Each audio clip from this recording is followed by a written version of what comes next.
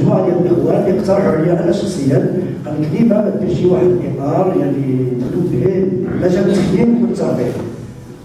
على اعتبار على أني عندي واحد التكوين هذا المجال هذا بالإضافة أن مدينة العرائش تزخر بواحد المجموعه ديال الطاقات اللي حاصلة على تداريب وطنية من وزارة الشباب والرياضة من وزارة الثقافه كذلك ومن منظمات أخرى يعني في الشام المغربي واحد المجموعه ديال الجمعيات اللي حاصلة على الدبلومات.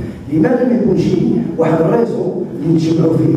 هاد الاطر اللي ما كتشتغلش على مدار السنة كاين اللي كيشتغل الجمعيه ديالو طبعا ولكن كاين اللي عنده un diplôme أو اللي عنده واحد ديال المنشط التربوي لكن لا يشتغل.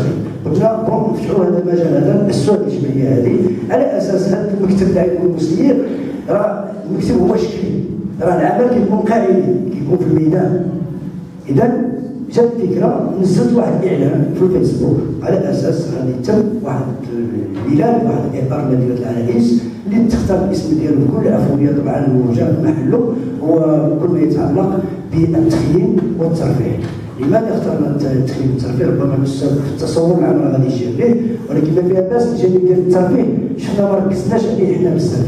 كنركزوا دائما كنمشيو للجانب ديال التخييم بالنسبة للترفيه كنقول عاوتاني كاين منشطين اللي كينشطوا المهرجانات كاين منشطين اللي كيمشيو يعني يأطروا واحد المجموعة ديال المهرجانات.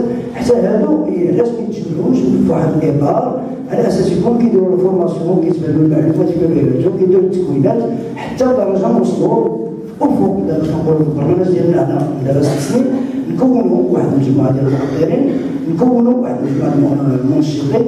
حتى انه بغات شي جمعية أو شي جهة تنظم شي تظاهر كتتجه لهذا الاطار هذا كيكون أنه عنده يعني واحد خزان أو بنك ديال